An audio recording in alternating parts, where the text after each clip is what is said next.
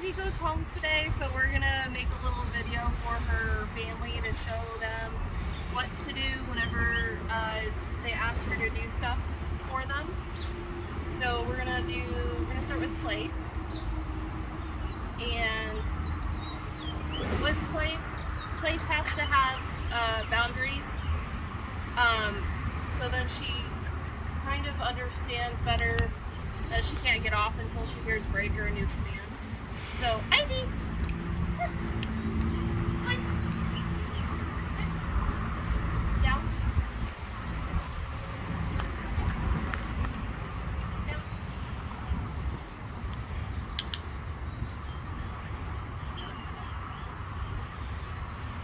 So while she's staying down too, I'm gonna click and treat.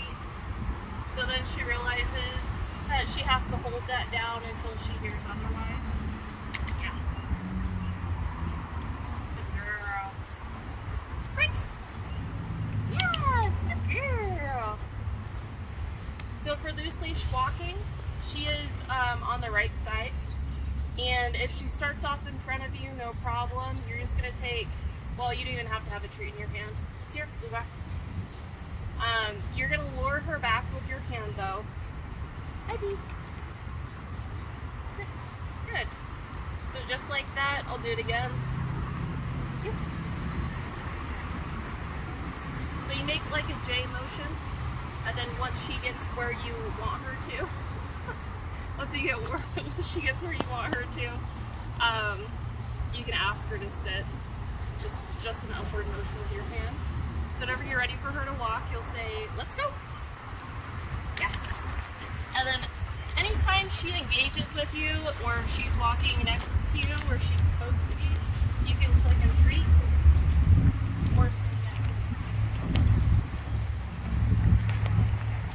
If she goes too far ahead, stop, bring her back.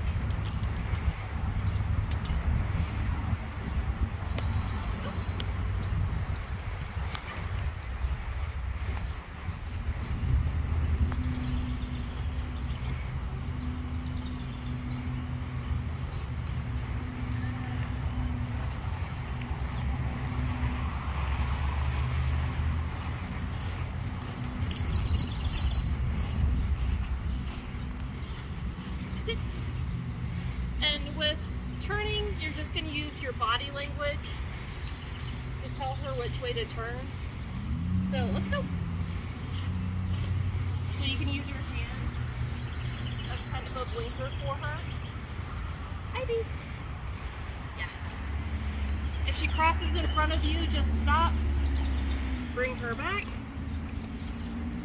Yes. Let's go. Ivy.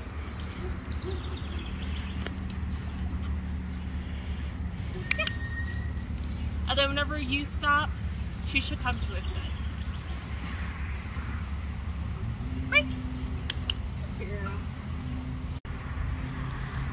Ivy. Yes. So for her recall, you're going to use your hand as a target, and you don't have to have a treat in it, but you are going to treat her after she comes to you. So you're going to use your hand as a target. Ivy.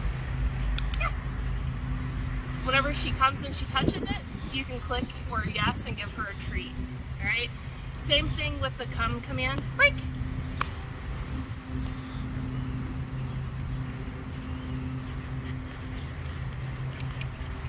Come. Yes. Good girl. So the reason why we're giving her a treat after she does it is to reinforce that she did it right. If you stop, um, food is a higher reinforcer than physical affection is. Ivy, yes. So if you don't want to use food, at least use physical affection. Ivy, yes. But if you stop paying her for what she does, then she's gonna quit doing these commands. So just remember to reinforce what you like. Ivy, yes, good girl. Um, every time you're working with her, you're reinforcing either good behaviors or bad behaviors. So just kind of keep that in mind whenever whenever you are doing a training session or you're asking her to do something for you. Ivy! Yes, good girl. because if you don't pay her for what she's doing, then she will quit doing it. Ivy! yes, good girl. good job. Time I'm going to pay her a little bit extra because she came really well. That was really good. Alright, break!